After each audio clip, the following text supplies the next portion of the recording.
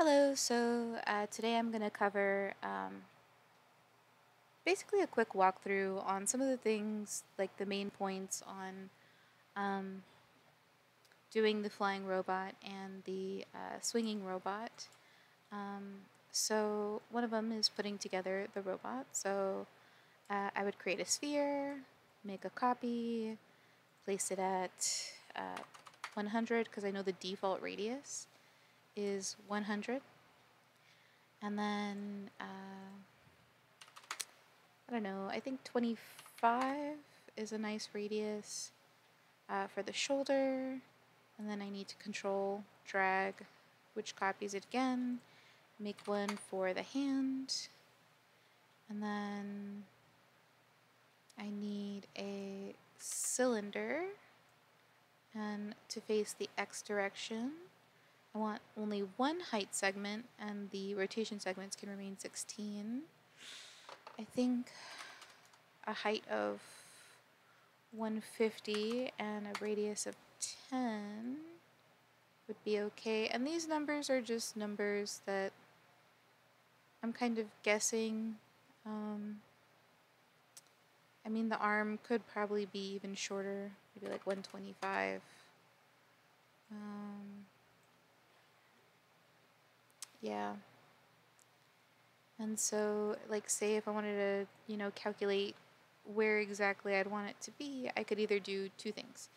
I could do the calculation in here, which would be, I know I made it 125 divided by 2, and then that plus 100 would give me exactly where I want it to be.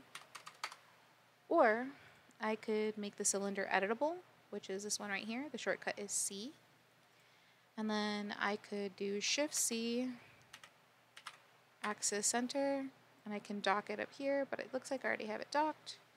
So then I would select it. I want to make the X be at negative 100 because this X, the red, I want it to be all the way flat to this side of the cylinder geometry. So I'm going to hit execute. And then uh, if I make it a child of the shoulder sphere there, this x should be at 0. So say had I been off somewhat, it would have been um, off like this. And if I right click on this little side arrow using the right click on the mouse button, that'll perfectly zero it out. So the reason I wanted to place the axis center on this side of the cylinder first is so that when I connect objects and delete for the upper arm, so long as the axis is placed in the same spot on both of these objects, it won't move. So it saves me from having to redo placing the axis where I want it to be. So I know this is upper arm. Um, and so now that this has been made editable, I can take the enable axis button, turn that on, the shortcut is L. I can rotate it to face down the line of the arm. So E will show me the move tool, which shows that the Z axis is pointing down the arm and the uh, Y axis, which is green, is pointing up and down, which is ideal for setting up this rig. And so now if I want, I can take, can turn off enable axis. I can control, drag the arm to um, to now make a copy and because I edited the axis before I copied it I now have um, the axis facing the way I want it to on, on both of these. Um, Another thing I can do to line this up perfectly if you want, you don't have to, is if I hit P, this pulls up my snapping um, information, which is also available up here. Right, so this will enable snapping, and I also want the snapping options though, because I want to do edge snap as well. So that means that I can take this and snap it perfectly to the end of the other cylinder there. Then I can take this sphere and I can snap it perfectly to the edge here.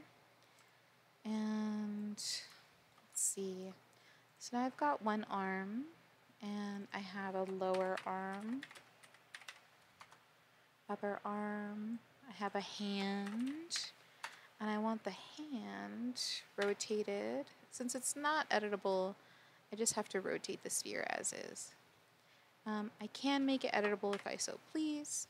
I don't have to in case I want to be able to parametrically, which is using these sliders to edit it. Um, so say I wanted more or less segments without having to manually do it, I can just use these sliders. Um, whereas in the case of these objects that I've made editable, I can no longer use sliders to edit them. They are as they are. So now that I've made one arm, and I've set it up like an hierarchy with the lower arm and the hand, I can then uh, use the rotation tool, hold down control, and drag. If I hold down shift, like I was doing earlier, um, it will uh, move in increments of 5. So I want it to go 180 degrees the opposite way. And then I'm going to move it down to the other side of the sphere. And I probably want to also snap the other arm over here in place. There we go. And so now that I've done that though, my I notice once you, um, I guess, flip the arm, the y-axis is facing down. And so the best way to fix this is just to come over here to our coordinates and we notice that on the H it's 90 degrees and that's fine, but on the B it is negative 180 which means that it's upside down. So if I just right click and zero this out, it points up. And that should fix that for all of that. So now our arm is fixed. And let's do some simple modeling on the body. So I want more segments, so let's say 32. And I want to be able to see the polygons. So let's go to display and NB, which is Gouraud shading with lines, will show me my geometry. So that looks good. I want to then hit C on the body because we're going to do a little bit of modeling on it. And I want to go to polygon mode. And I want to use the live selection. So using the live selection, I'm going to select some of the polygons across the front of my robot. And if I right click and use inset, the shortcut is I, I can bring in those polygons. And then I have two options. I can hit D for extrude, which is right here, extrude. And I can extrude it in this way, but you notice it comes down at an angle. Or if I use uh, the move tool, E, I can control drag inwards to extrude those polygons in without that angle. Um, and for the bottom, I can use uh, UL which is loop selection. If I click U, you see this long list of tools that are pulled up for um, these hotkeys, and then L is for loop selection. So I want to select from here, and if I hit U and we look for F is fill selection, and then I hold down Shift to, to also select these along with those without losing them um, and that will create a full selection there. And then I want E for the move tool again. And I will control drag these down like I did with the visor. And then if I hold down, or if I click T, T for the scale tool, I can first start scaling. Then I want to hold down shift to scale in increments of 5 and I want to reach zero to make it perfectly flat. Now this is my preference. Um, feel free to uh, make this special however you would like. I'm also going to do UL. I can select this line, and if I go E, I can control drag it down a little more, and now I have another detail. Ah, one second. I want to turn off snapping, which I can also use Shift S and you'll notice that snapping turns off with that shortcut. So now I have a nice little detail on the bottom of my robot. Alrighty, so now that we've done this, mm, let's also make a claw. And I think what I'm going to do with the arm though, um, I haven't renamed it yet, I'm going to delete this other arm because I'm going to still be making some more things that I would like to be doubled over when I duplicate over. So let's make a hand. Let's make the claws. So I can use a tube and let's see, let's guess some numbers or let's just scale down. Let's eyeball it. So I can just scale it down uniformly and drag it down this way. And then I want to be in model mode so that I can see these different sliders um, to edit the size of this. I want go. I want this one for the outer ring, this one for the inner ring, and this one for the height. And I notice I have a lot of height segments there, so I probably only want one height segment. Or no, let's make it two. And then 16 is fine. Let's make the height some even numbers. 8, 20, and maybe 14. There we go. Alrighty. So I can use a slice, and that'll turn it to 180. And then I can do maybe C to make it editable. And I want to go into point mode. And let's use the marquee selection tool, which the shortcut is zero. I can select these and these points, and you'll see that it selects all of them down the line, but I don't want these inner ones, I just want these outer ones. I can pull that in, maybe not too far, and that can make a little point here. Um,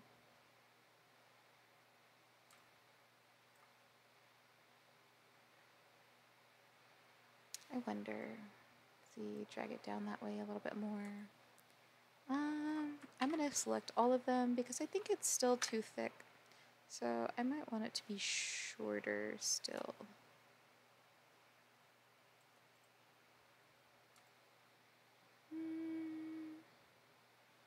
More.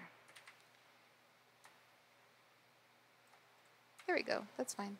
Okay, so I've done that, and I'm going to double check my axes still on these.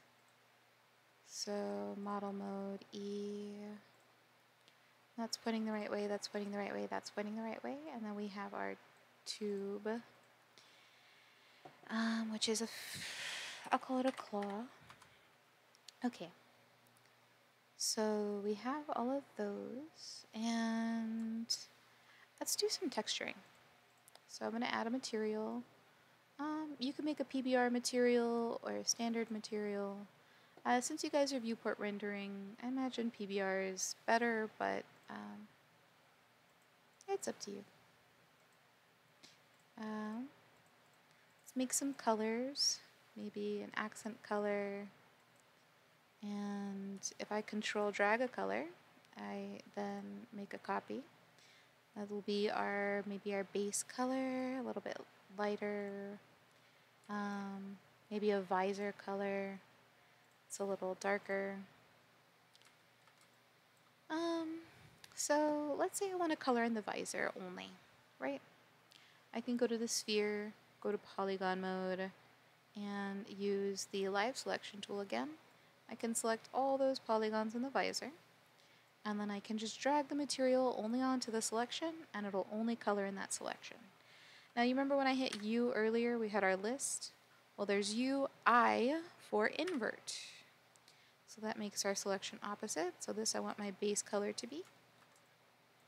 And then if I use the move tool for the upper arm, when I double click on the sphere, it selects only the connected polygons to the sphere.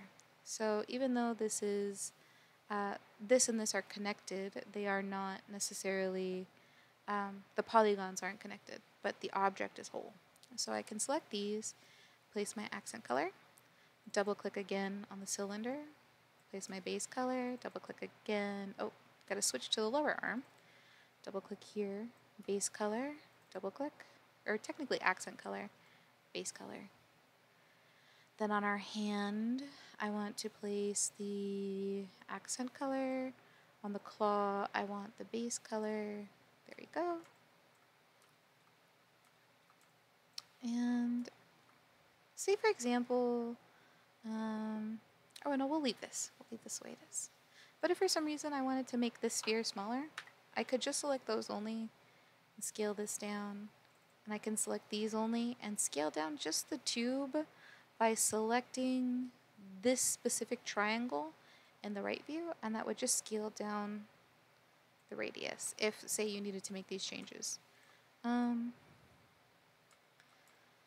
so we've done that and we can then take our claw and we can rotate and if I hold down control and shift I can then uh, rotate it see I want to rotate it um, 120 degrees so control and another 120. And the reason for that is because 360 divided by 3 would be 120. So I can do that. Um,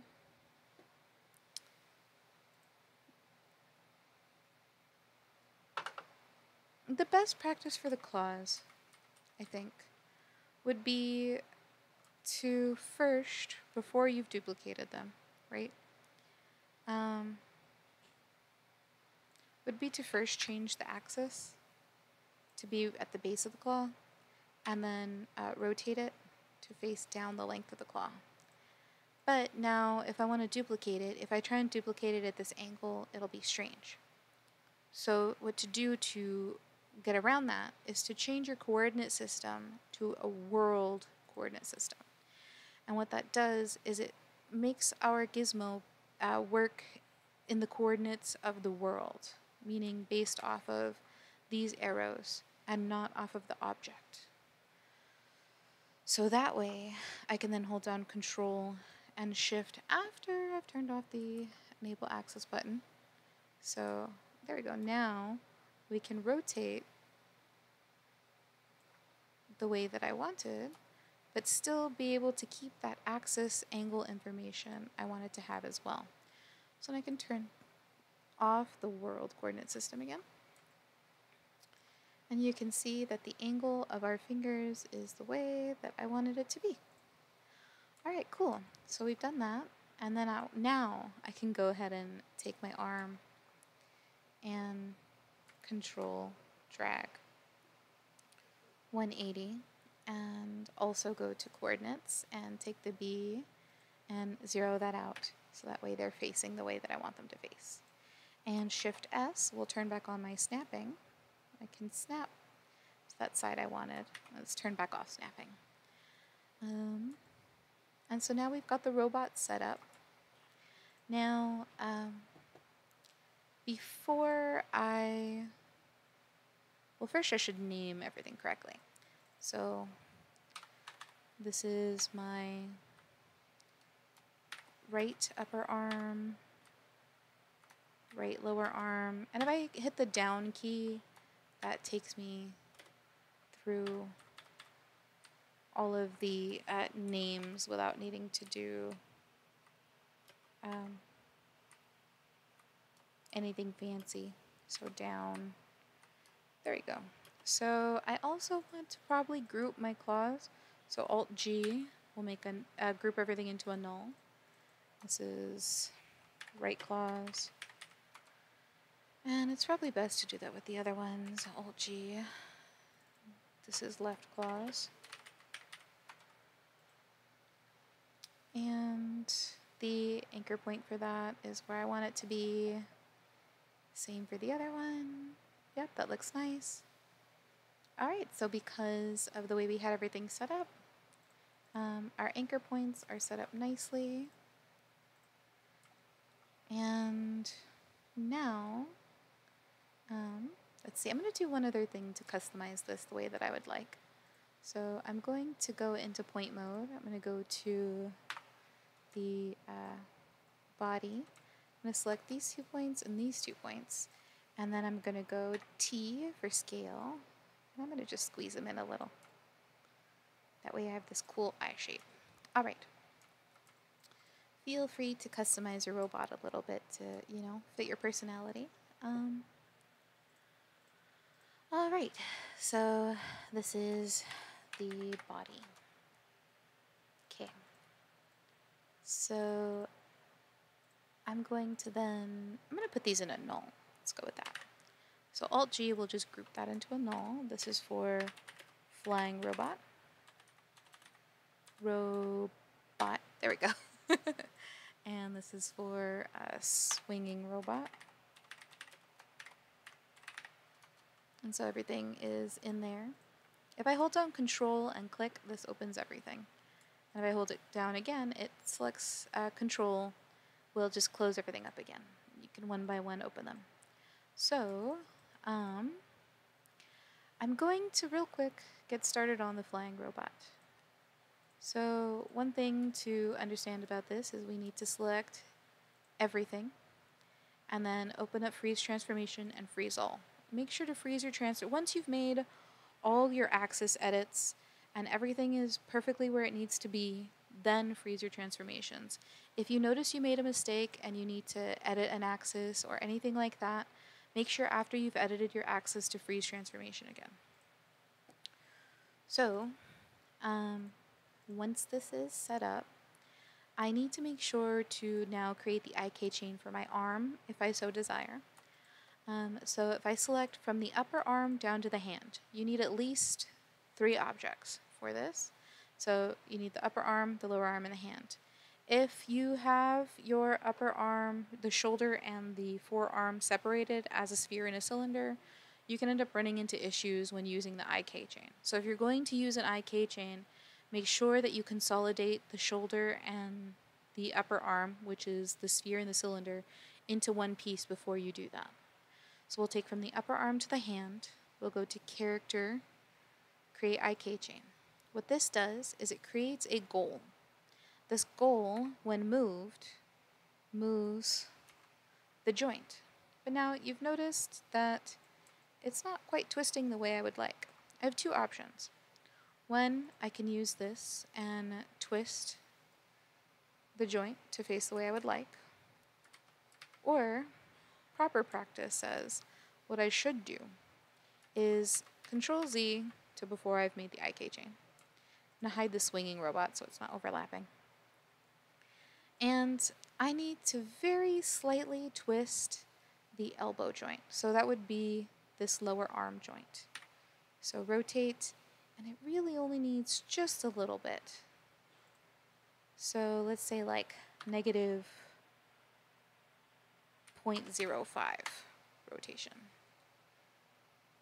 Make sure I'm rotating it the right way. Yeah, negative 0.05. So just a little bit of rotation. And same for the hand. This will help in the long run, negative 0.05. So just the slightest rotation on the H. And it can be more than that though. Um, I mean, it doesn't hurt too much. Um, so once you've done that, then you can select from the upper arm to the, uh, the hand. So I select upper arm, hold down shift, then click on the hand. And this will select everything from here to there. Character, create IK chain. Then, if I move the goal, because I've added some rotation to that a little bit, it'll uh, move the joint in the direction that I set it to. So if I want to straighten this out, I can just pull it taut and move it there.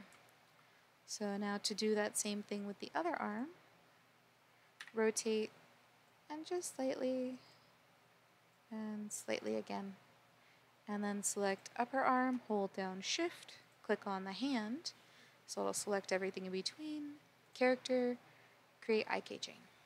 And now if I select the goal and move it with E, same thing. it'll bend in the direction I want it to, and then I can straighten this out. And so once you've done that, don't forget to freeze your hand goals as well. Um, I'm going to actually zero out these rotations first, just because I feel like they don't necessarily need to have rotation, um, as the goal is information is really only indicated by um, the information on the position. And I'm going to zero out the Y just because I know I want it to be perfectly straight to the body anyway.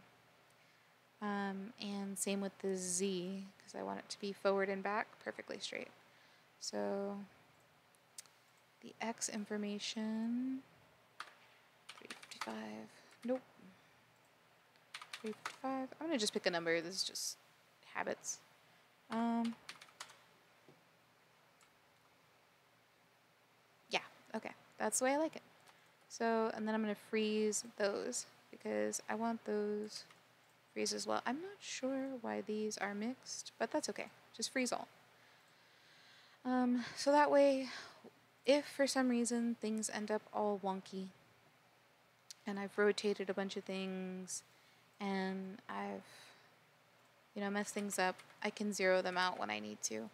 But I did notice something strange right now. My uh, rotations are mixed. And so say had I done all that jumbling and then I went uh, Alt 0, which will zero out my rotations, you see I, I can end up with a little bit of um, unwanted rotation. So let's see what happened here. Is it the hand? Ah, right, we had to do that for the IK chain. So in all honesty, now that I've made this IK chain, it's best to freeze transformation one more time. So there we go. Now, going to ruin things. Then I can hit Alt 0 and things will return as they belong. And so you have two options for your hand goals. You can leave them there and not be inside the body, and they'll stay where they are, and you can end up with some interesting animations from that. Or you can take them and place them inside the flying robot uh, null, and then you can move them again, and they'll come along. This is so long as you are moving the flying robot null, if you have them in a null. If you don't have them in a null, put them in the body and move the body. Either way, that's going to be the best way for you to do that. Um,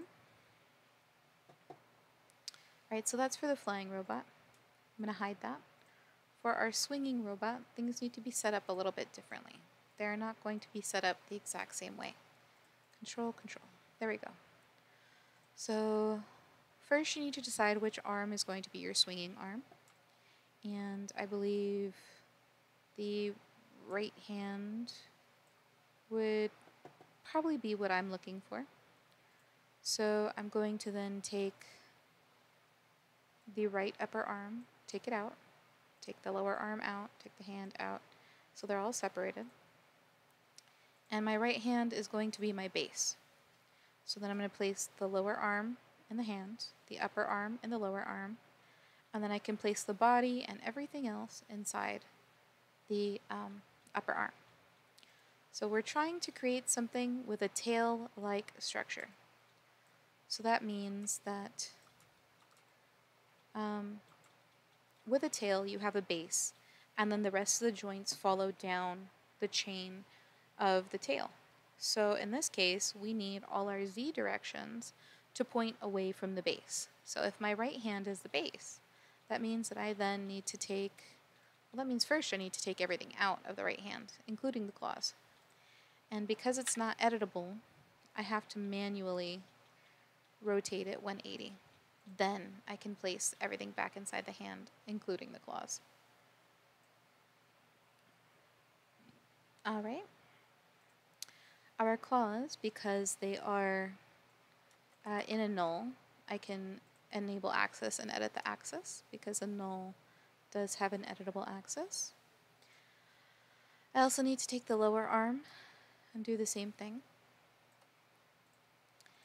And the way that I know which direction the z-axis is facing um, when in rotation mode is at, you can see that there's this blue line um, across this way that also intersects over here with the red line, um, which points in the direction where the uh, axis is facing. So if I hold down shift while rotating these as well, it does move in 5 degree increments, so that's what helps me get it perfectly 180 the other way. And so I can double check my work by hitting E, and so that looks correct, that looks correct. Um, one other thing I need to make sure to do while doing this is that if my hand is the base, right? One, it's probably best if if I make the claws the topmost parent because the claws have an editable um, an editable axis. And so and then I can take that and move it out this way if for some reason I don't want to do that right? I want to keep my claws in the hand and so on and so forth even better yet it would be best to take our swinging robot null and make that axis be right where I'm going to put the tube, or technically the cylinder or pole or whatever you want to call it. So it'd be best to put that there. Then I have my hand, then I have the claws, and it looks like I moved these on accident. There we go. Then I have the lower arm, and the lower arm, if you think about it, if it's like a tail, wouldn't rotate from its um, this end, it would rotate from the opposite end around the hand. And I can turn on snapping again, Shift S, and snap it to that side. And I want to take the upper arm, and this would this would rotate from that side. Yep. Lower arm rotates from there. Okay, hand, claws, lower arm, upper arm. The body needs to rotate from the shoulder. Then all of this is fine the way it is. Lower arm, hand, claws. Yeah, all of that's fine. And then I can take the robot and I believe I want this zero to the world and there we go, probably on the B negative 90? No, 90. There we go. So it's nice and rotated down. And you can move this up instead. So say 900, right? So that way you can place your pole up there and have it rotate around that. Um, so now we've placed everything where we want it, we've changed our axes, and now we can take everything and to make sure I'm getting everything, everything, I'm gonna hold down control, click the minus, then click the plus again. So I know that everything, everything is open. And then freeze all. So now all those changes have been made. I'm going to now select from the let's say from the right lower arm all the way down to the left hand. And I probably want to rotate it on the H because I have my axes set up the way that I would like them. So then you see we get a nice clean rotation. And so I can make a pole and place that. So I need a cylinder. And I'm going to guess like mm, 8 centimeters on the X. And I did place it at 900 earlier on the Y.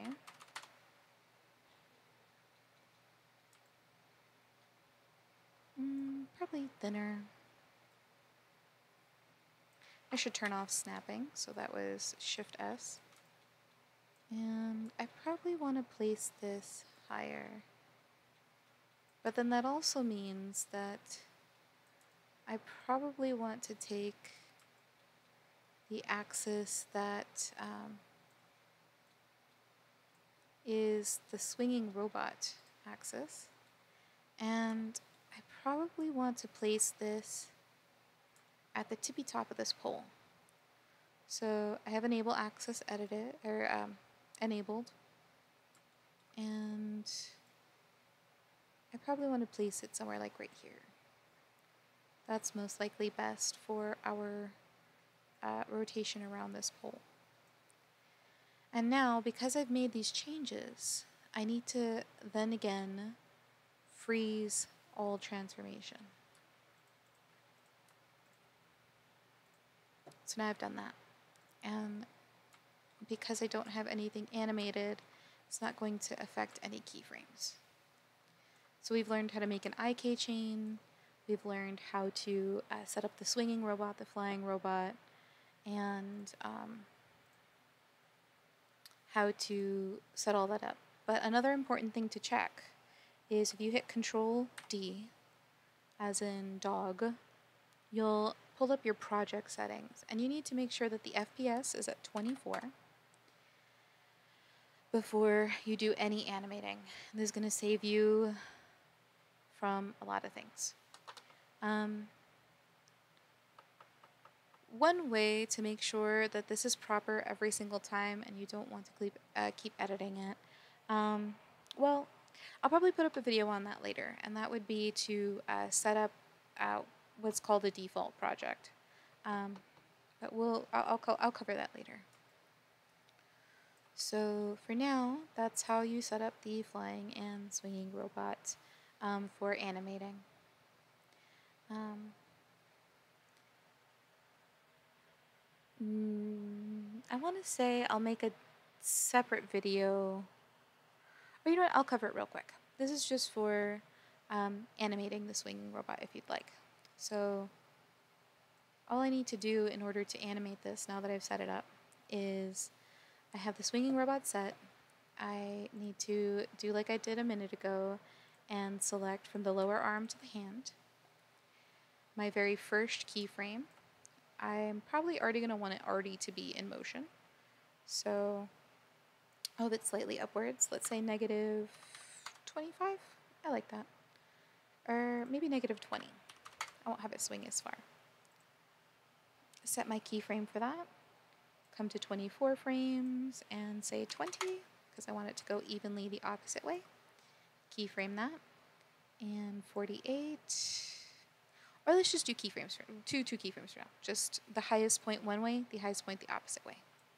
All right, now that I've done that, I can open all these different pluses and that'll show me all my different keyframes.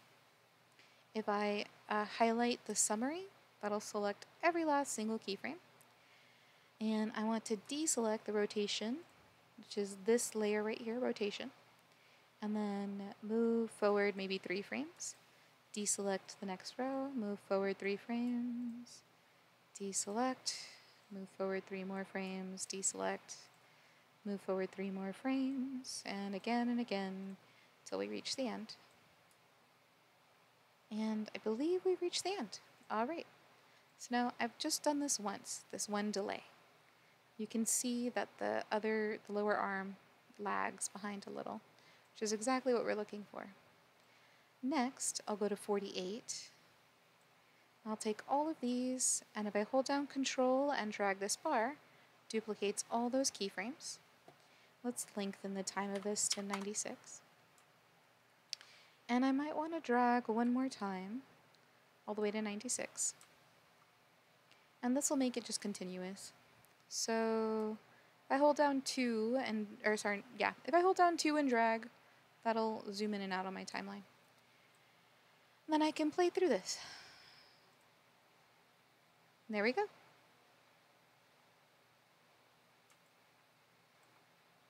I have a nice swing. All right. Um, for viewport rendering, we set up our keyframes, and I'm going to close this up. One, I can set up a camera from the position I know for sure I want to record in. And I want to set up a studio. So let's say, yeah, if I hit the asset browser, type in studio, this pulls up the studio backdrop. You double click it to download and create. Then I want to scale it way up.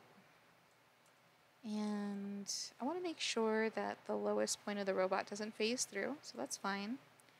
Um, we can set up a light create some shadows. I want to make sure real quick I don't move my camera. Oh, great. Okay, I didn't. So I'm just looking through the default camera, so don't mess with that. Alright, and my light was created dead center of the world, so probably want to place it in front of my robot. And I'm going to use Shift V for the viewport um, settings, and I want to go to, see, what am I looking for? Effects. There we go. I want to turn on shadows. I want to turn on SSAO. And that should be fine for now. One other thing is to get my light to give shadows. I need to go to the Shadow tab and turn on Shadow Map Soft. Nice. And I probably want a good angle on that. Um, so that should be fine. Alright, so now that I have that set up, I also want to hit, uh, let's close this, display NA would turn us back to Gouraud shading, so we don't lose that. And my light is probably way too bright. So let's go to general and turn down the intensity on that. And I can create a duplicate by hitting down control and dragging. Um, how interesting. It's not working. Well, I can do it over here. Then drag it over. And then make this an even less density to just fill in any dark shadows. Um, and probably turn off the shadows on this one. No. There we go. Alright, so I've done that much. This is my fill light. Is my key light. And I'm going to look through the camera now. And I probably don't want my studio backdrop uh, wanted to make sure that it's covering, there we go, everything. So that should be fine. Render settings. And a real quick save, just in case, save project. And I'm going to lock ratio because I want 1920 by 1080. I want the frame rate to be 24. I want all frames to be rendered. And I want to be in the viewport render, version renderer. I want to save it as a PNG and I want to choose where it saves to. So in this case, I want to save it to 185 tutoring. I want to make a new folder for this. So this is robot swing render. And I want the file name to be really whatever you would like. and viewport render, I want in filter, geometry only. And for my um, effects, I'm going to copy my effects from viewport. But if you didn't have them on in your viewport here, you could always just turn on the ones that I had, which was shadows and SSAO. Once you've done this, you've done everything you need for rendering. The only button you need to hit is render to picture viewer here. Once you've done that, it'll go through and uh, render all the frames.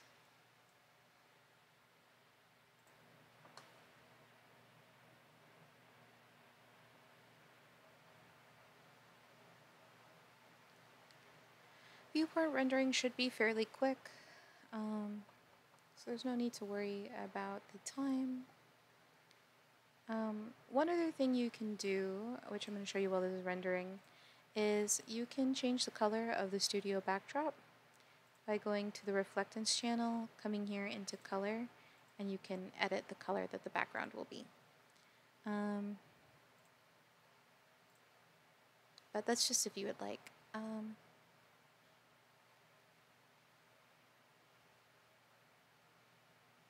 Alright, so that's been done. And next is to bring it over to After Effects. I already had After Effects open. Three ways to import to After Effects. Import File, right-click, Import File, or just double-clicking in the Project panel. And let's go to where we saved our renders to. And I just need to select any one of these files. It doesn't matter which number, so long as PNG sequence is clicked on. I'll hit import. And one thing you'll need to do is right click interpret footage main and make sure this is 24. Um, yours most likely will be 30. Mine was set to 24 because I went to edit, preferences, import, and I made sure to set my uh, preferred sequence footage frame per second to 24. This is normally by default 30. And OK. Then I can right click and say new comp from selection. It'll be named whatever the name of the PNG sequence was. I also need to make a new composition and I will name this one, you know, last name. So you'll want it to be your last name. And then uh, the name of uh, you want your MP4 project to be. So this could be robot swing fly, right? Because this is both swinging and flying. You can put them in the same project. And the duration, I'm going to make something way longer than I think I'll need, so 45 seconds. And I can then take my robot swing and place it in here. You'll also have a flying robot, but I'm going to just duplicate my swinging robot. And then um, one other thing to do, if uh, you so please, is to make a um, title card, which is, you know, good practice. Make a solid to make your background, make some text, uh, title of your project, right? So uh, it could be Robot Swing Fly, or whatever you would like.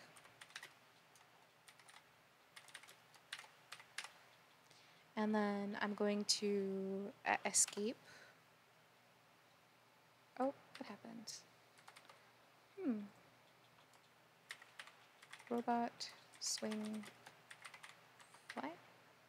Oh well, that's okay. And I'll duplicate this, so Control D allows me to duplicate. And I want it to be, you know, my name. So in your case, you'll put it your name. Alright, and I can select both of these. I go to align over here, I can line them centered only want the text.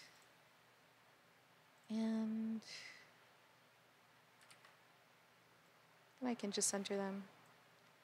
Alright, and I only want them to be this long. So as long as I place my he playhead at the end of where I want it to be, and then I hit Alt and right mouse bracket, that should cut it to the end of that and I can select all three, right click and pre-compose. This turns it into one layer that is a separate comp. I'm to call this title card. And when you have multiple selected, it does this by default. But if it's ever selected on this frame, you'll want to turn these on and hit OK. So now we have our title card, robot sing, and all that. I can select all three, right click, keyframe assistant, and sequence my layers and I can turn on overlap and set how long I want the overlap to be. I want to go to effects and presets and earlier I did this so this is my a couple times recording this. Um, so I want fade in fade out. And I want 12 frames. Um, and I'm going to select both copy and paste it to the other layers. And this should fade in and out your projects between each other on the layers. Um, next is if I hold down shift, it snaps me to the end of a layer when I get close to it. So I want to shift and snap to the end of this. I want to hit N, which is um, to put the end of the set the end of the work area. And so my work area bar is this bar right here. So I want to right click on the work area and trim comp to the work area. So now my project is that long. So another thing to note, you see how I have left or robot swing selected here. If I go to composition, add to media encoder Queue, it's going to put the wrong composition there. So I want to make sure I have my main um, composition that has everything in it selected. Then go composition, add to media encoder Queue. And then I'll need to wait for media encoder open. And it will take some time. Um, I did pause this for a moment to give it some time to load. And you'll want to have, see, I'm going to delete that. You'll want to have for your submission, uh, probably YouTube 1080p. I drag it over this uh, preset, you'll want to have that be what you render it as. If you want to share this on Slack, um, I made a preset called Slack No Audio. Um, I do have a video on how to put together put that together. Um, what that has is it is a YouTube 640 by 360 um, render, and it has uh, export audio checked off. And I then came down to the uh,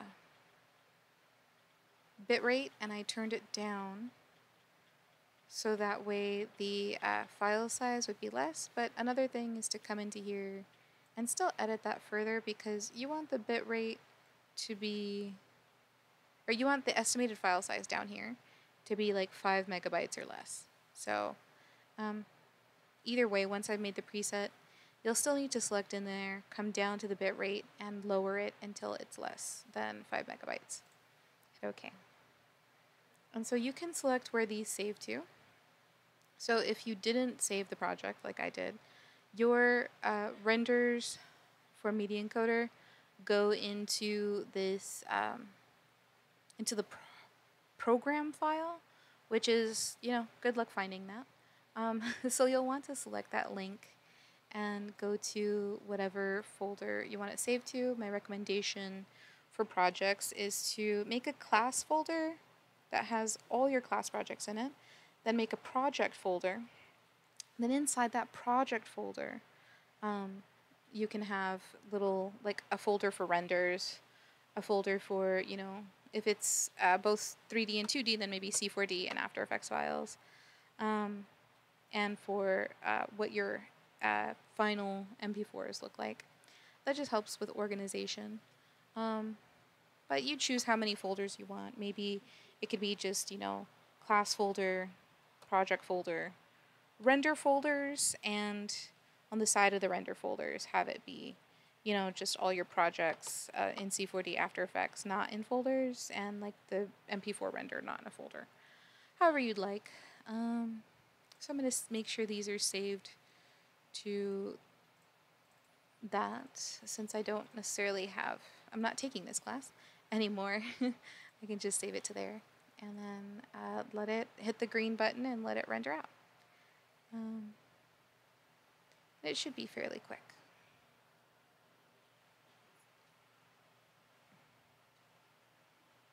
And so because I named that composition, you know, my last name and the name I wanted it to be in the end, it stayed named this. If I didn't want it to be named this, I'd need to make sure to rename it when I'm setting where I'm placing it. I believe that should be all the key points to cover in this project. Um, remember, if you have any questions, you know, come by tutoring Monday, Wednesday, Friday, Sunday, 2 to 7 p.m. Um, I'll be there. All right, thank you. Bye-bye.